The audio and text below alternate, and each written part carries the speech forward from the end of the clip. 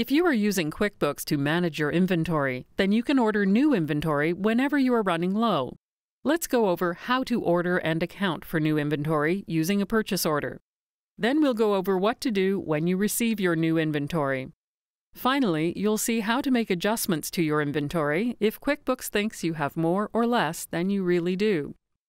If you haven't already created inventory products in QuickBooks, you'll need to do that first, and this video can show you how. To start, let's make sure you have purchase orders enabled in QuickBooks. Select Settings, then Account and Settings. Click on the Expenses tab. If the Purchase Orders feature is not enabled, select Edit and turn on Use Purchase Orders. You can also add custom fields, turn on custom transaction numbers, or create a default message for all purchase orders. When you are ready, select Save and select Done. Now let's get started. Go to Sales, then Products and Services.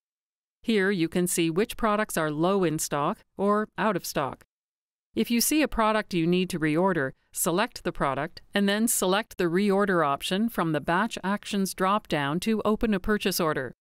If you want to include multiple inventory items on the same purchase order, you can select them all.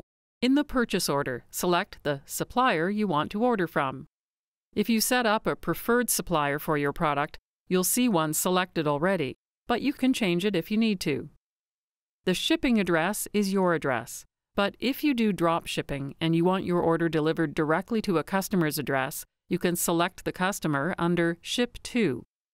Fill in Ship Via if there is a specific carrier you want your supplier to use. Under Item Details, enter all the items you want to order. Enter the quantity you want to order. Notice that if you hover over this, QuickBooks will show you how much you have on hand and your reorder point. You can adjust the rates and amounts for individual products as needed. You can also add more products to the purchase order. Just select them from the drop down menu or add them if you don't see them. You can also add a message to your supplier, a memo, or add attachments. Once you're done, you can save and send the purchase order to your supplier here is a customizable email that QuickBooks will send to your supplier, along with the purchase order. If everything looks good, select Send and Close. If you go to Expenses and Suppliers, you can see your new purchase order listed here. Once you've sent it, your supplier can start processing your order. A purchase order itself does not change your inventory levels. It's just an order with your supplier. When you actually receive your inventory from your supplier, you'll need to record how you paid for it. You can enter it as an expense, a check, or a bill, depending on how you are paying for the inventory. This is what actually adjusts your inventory quantity and handles all the accounting.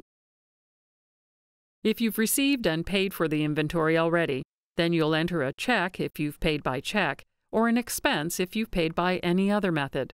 If you haven't paid yet, and your supplier has given you a bill with a due date, then enter a bill. These methods are all very similar. For this example, we'll enter a bill. Select your supplier. Since you have an open purchase order with them, you'll see it over here. Select Add to add the details of the purchase order to your bill. If the amount of inventory you received, or the price you paid for it, is different than what was on the purchase order, you can change it here. Once you are finished, select a Save option. Now, if you go to Sales and Products and Services, you'll see that QuickBooks updated the inventory quantity on hand based on your purchase order and the subsequent bill. One final note about managing inventory. If the amount of inventory you actually have on hand is not the same as what's in QuickBooks, you can make an adjustment.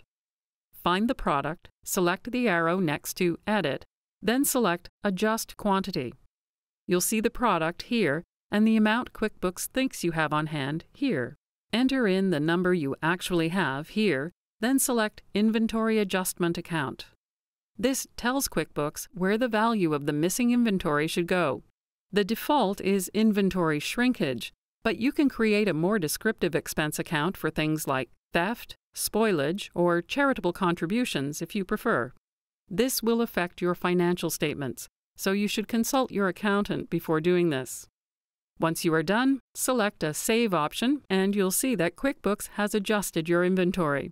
Now you are ready to start managing your inventory with QuickBooks.